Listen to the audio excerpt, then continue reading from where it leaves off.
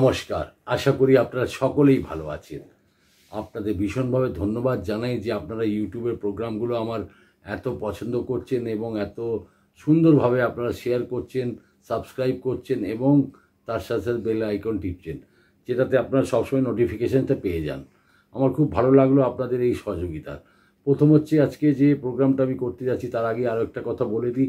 যারা আমার সাথে ফোন ইন কনসালটেন্সি করতে চান তাহলে আপনাদের ওই নম্বর প্রথমে যেটা দেখানো হয়েছিল nine one six three five two five seven eight six সেটাতে আপনি কল করে আমার লোকের সাথে কথা বলে আপনি সমস্ত ফর্মালিটিস পুরো করে তারপর আপনারা আমার সাথে কথা বলতে পারবেন। মানে তার মধ্যে কি হচ্ছে, আমি আপনাদের কাছে একটু ক্ষমা চাইব যে আমাকে একটু সময়টা দেবেন। সময়টা এই জন্য চাইছি, আমার কাছে প্রচুর এগুলো জমে গেছে। আমি ধীরে ধীরে সব মানে যত তাড়াতাড়ি পাচ্ছি তাদের সাথে কথা বলে এগুলোকে মানে কমাচ্ছি। আপনাদের সাথে সহযোগিতা ভীষণভাবে পাই।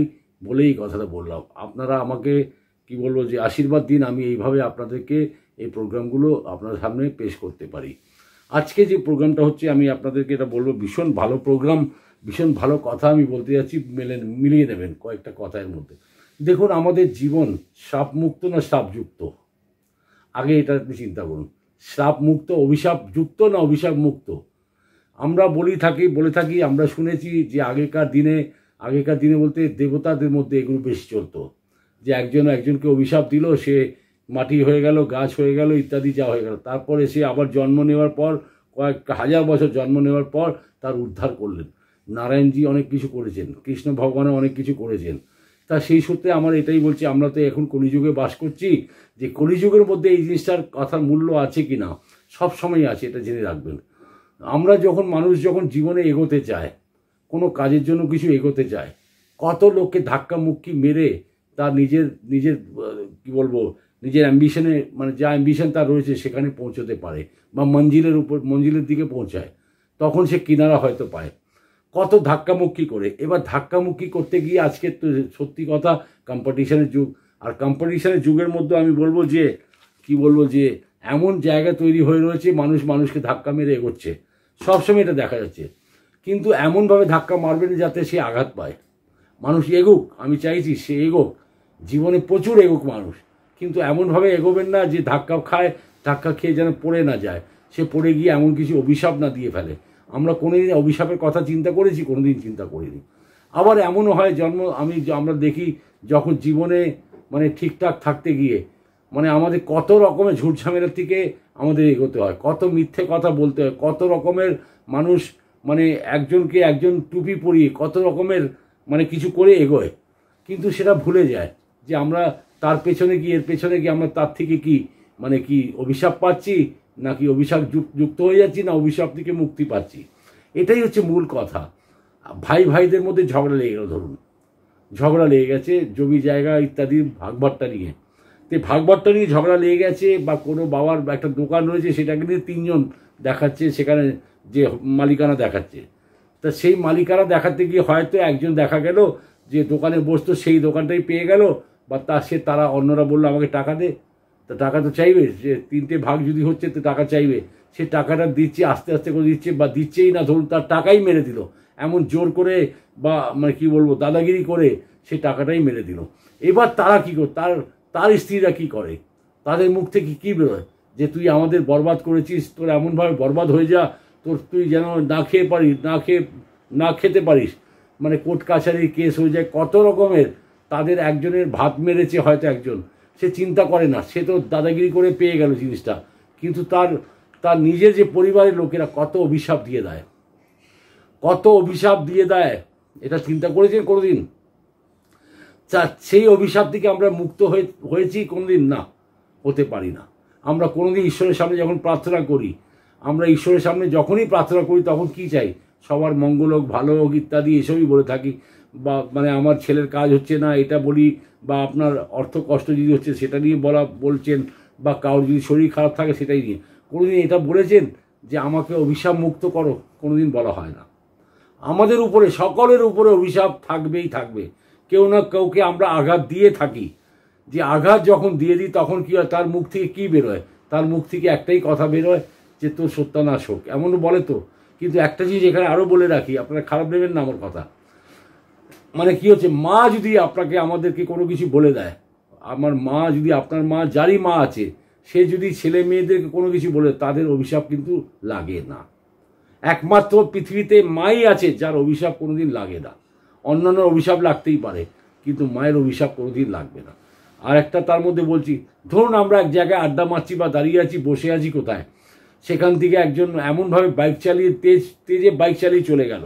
এমন পাশ কাটিয়ে এমনভাবে চালাচ্ছে, যেমন মনে হচ্ছে যে এই পড়ল কি এই পড়ল। তখন মুখ থেকে কী বেরিয়ে যায় হঠাৎ করে? যে মরবে রে, এই লোকটা মরবে এবার। যে এমনভাবে বাইক চালিয়ে গেছে, মরবে। আমাদের মুখ থেকে অনায়াস বেরিয়ে যায়। আমরা এটা কিন্তু তাকে অভিশাপ দিইনি। অনায়াস বেরিয়ে গেল, তার ভাবভঙ্গিমা দেখে। তা মুখ থেকে তো বেরিয়ে গেল। তো মুখে তো অনেক সময় সরস্বতী বাস করে। তা সেই সময় দেখা গেল সে লোকটা আগে গিয়ে রাস্তার মুখে গিয়ে পড়ে গেল। আর পড়ে গিয়ে দেখা গেল তাকে হসপিটালাইজ করতে হলো। তারপরে জানা গেলো সে মারাও গেছে। তখন মানুষ কী ভাবে যে আমি এরকম ধরনের কথা বলেছিলাম বলে কি এটা হয়ে গেল? তা নয়। তার ভাগ্যে ছিল তার সে অ্যাক্সিডেন্ট হয়েছে। আর যে মানুষকে মানুষকে ঠকিয়ে নিয়ে এগিয়ে যাওয়ার চেষ্টা করে, মানুষকে ঠকিয়ে নিয়ে মানুষকে নিজের পকেট গরম করে নিজেকে এগিয়ে নিয়ে যেতে চায়, তার একটা না একটা দিন শাস্তি হবেই। তার মুখ থেকে যে কমজোর মানুষ থাকে, আপনি জেনে রাখুন, যখন মানুষ থেকে এমন কথা মুখ থেকে বেরিয়ে যায়, যা তোর সত্যানাশ হোক, তোর জীবনে কোনোদিন ফলবি না, তোর একটা পয়সাও তোর মানে কি বলব ফ্যামিলির কাজে লাগবে না, ঈশ্বর তোকে শাস্তি দেবে, ইত্যাদি ইত্যাদি আমরা অনেক কিছু বলে থাকি। মুখে জল দেওয়ার মানে লোক থাকবে না, এমনও কথা বলে ফেলি।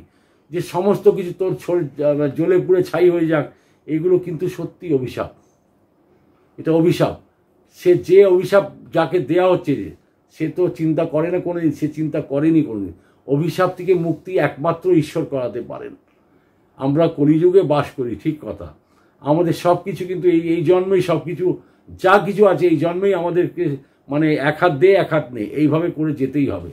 আমি জানি আপনাদের শুনে এটাকে অবাক লাগবে যে কথাটা যেটা বলছি, এটা ফ্যাক্ট এটা সত্যি কথা। যে আমরা কোনোদিন এসব চিন্তা করিনি, আমরা কত মানুষকে ঠকিয়ে কত মানুষকে আঘাত দিয়ে, কত মানুষকে লেঙ্গি মেরে, কত মানুষের ঘাড়ে উপরে উঠে আমরা নিজের স্বার্থটাকে দেখেছি। কিন্তু পেছন জনে যে যারা রয়েছেন, তারা কত রকমের অভিশাপ আমাদের দিয়েছেন তার কি কোনো শেষ আছে বলুন? আপনি বুকে হাত রেখে বলুন, চিন্তা করেছেন কোনোদিন? এমন মানুষকে হয়তো, দেখুন, টাকা পয়সা আজকে জীবনের সব থেকে বড় জিনিস। টাকা পয়সা নিয়ে যে আঘাত পেয়েছে, সে তো অভিশাপ দেবেই। সত্যি কথা। যে টাকা পয়সা নিয়ে আঘাত পেয়েছে সে অভিশাপ দেবে, তার ছাড়া কিছু নেই। আমি আরও অনেক কিছু জানাব, আপনারা শুনুন, দেখুন, আমি জানাচ্ছি, কয়েকটা জিনিস ভীষণ মন দিয়ে শুনবেন। এবার দেখুন, আরেকটা কথা বলি, যারা ভীষণভাবে নিরীহ মানুষ আছেন, কমজোর মানুষ আছেন, শরীরে তাদের মধ্যে শক্তিও নেই, তাদের কাছে কি আছে? শুধু বাণী আছে।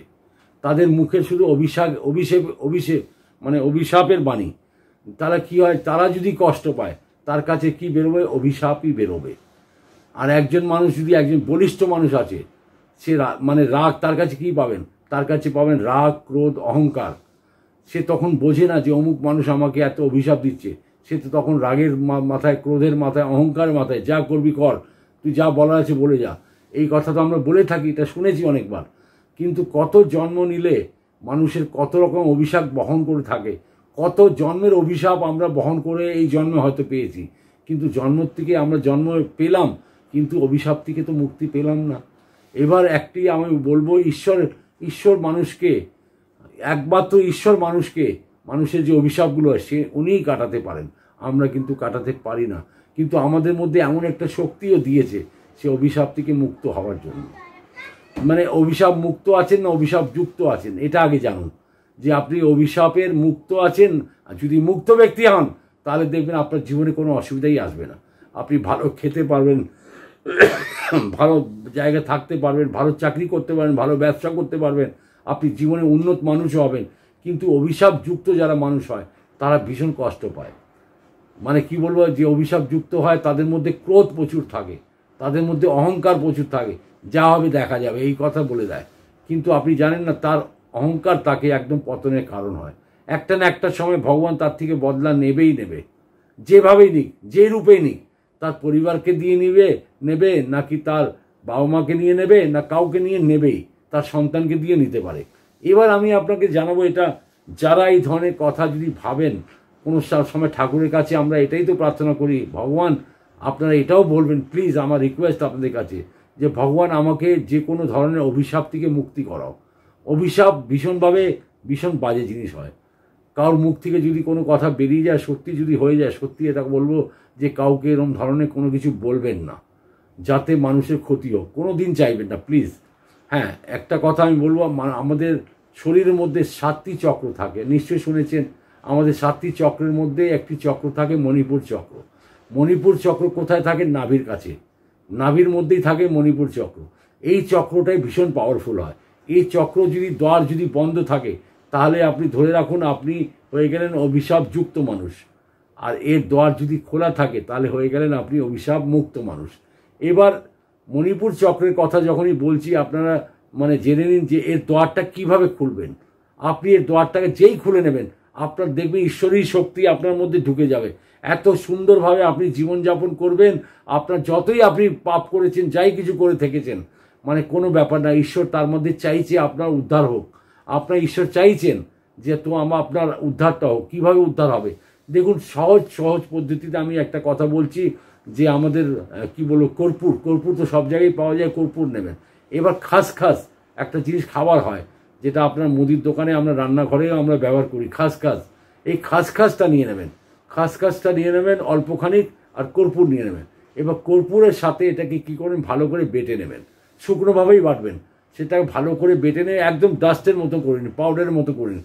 আর সেই পাউডারের মতো করে যখন আপনি স্নান করছেন, আপনি স্নান করছেন, আপনি স্নান করুন, প্রতিদিন সেটাকে জলে এক চামচের মতন দিয়ে স্নান করুন।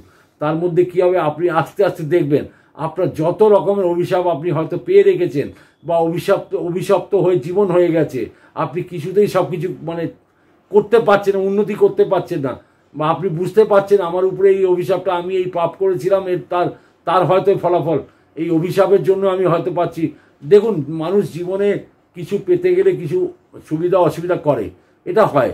হয়ে যায়। আমরা মানে কি বলব, স্বভাব বলব, অভাবে হিসাবে আমরা স্বভাব পাল্টি নিই তা সে সেগুলো হয়ে যায়। আমরা জানতে, অজান্তে আমরা পাপ করে ফেলি।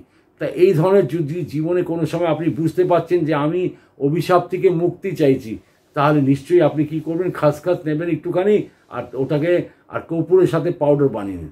সেটাকে পাউডার ডাস্টের মতো করে আপনার স্নানের বালতিতে জলের মধ্যে বা একটা মগের মধ্যে দিয়ে তার মধ্যে প্রথমে ওটা ঢেলে নিন, তারপর অন্য জল দিয়ে আপনি সাওয়ার দিয়ে স্নান করে নিন। তার মানে কি হচ্ছে, এই যে আপনার ভেতরে যে ভেতরের যে জিনিসটা রয়েছে, যেটা আপনি অভিশাপ মুক্ত হতে চাইছেন, আপনি বুঝতে পারছেন আপনার জীবনে এই ধরনের জিনিসগুলো ঘটেছে, যদি আপনি মানেন, তাহলে এইভাবে স্নান করে দেখবেন আপনি একদম অভিশাপ মুক্ত হয়ে যাবেন। আর যেই অভিশাপ মুক্ত হবেন তারপর জীবনটা দেখবেন আপনার কি সুন্দরভাবে চলবে, কি সুন্দরভাবে আপনার ছেলেমেয়েরা এগোবে। আপনি পারলে সবাইকে এটা দিয়ে স্নান করার। মণিপুর চক্র যদি আমাদের খোলা থাকে, তাহলে জীবনে এমন কোনো জিনিস নেই আমরা পেতে পারি না। সব কিছু আমরা পেতে পারি সব কিছু আমাদের হাতের মুঠোর মধ্যে থাকবে। আর সৎভাবেই পাবেন। কোনো অভিশাপ আপনাকে কিছু করতে পারে না, অভিশাপ লাগবেও না। হ্যাঁ যদি আমরা যে কম্পিটিশন বললাম প্রথমে কম্পিটিশনটা কী ব্যাপার? কম্পিটিশন আপনি পরীক্ষায় বসেছেন। সেখানে আপনি কম্পিটিশন করে আপনি এগোচ্ছেন। তাহলে তো ঈশ্বর আপনার সাথেই আছে।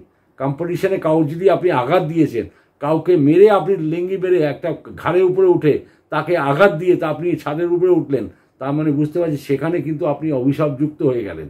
মানে এটা নিজের, আপনি একমাত্র সাক্ষী আছেন আপনার জীবনের, আপনি কি করেছেন, না করেছেন। এটা একমাত্র আপনি সাক্ষী আছেন আর সেই ঈশ্বর সাক্ষী আছে। একমাত্র ঈশ্বরই পারে অভিশাপ থেকে মুক্তি করাবার জন্য আমাদের জন্ম যেটা আমরা নিয়েছি, এই কলিযুগে আমরা বসবাস করছি, তা কলিযুগের মধ্যে বসবাস করলে আমি বলব যে এই জন্মের কর্ম এই জন্মই রয়ে যাবে, এই জন্মে তা উদ্ধার হবে। আপনি যদি পারেন এইভাবে করে দেখুন, অবশ্যই সুফল পাবেন। আর আপনাদের সাথে তো আমি প্রায় দিনই আমি কথা বলছি, রোজই আমি এই প্রোগ্রামগুলো দিচ্ছি। আপনারা ভালো থাকুন, সুখে থাকুন, আর সব সময় আপনাদের সম্মান আমি চাই। ভালো থাকুন। নমস্কার।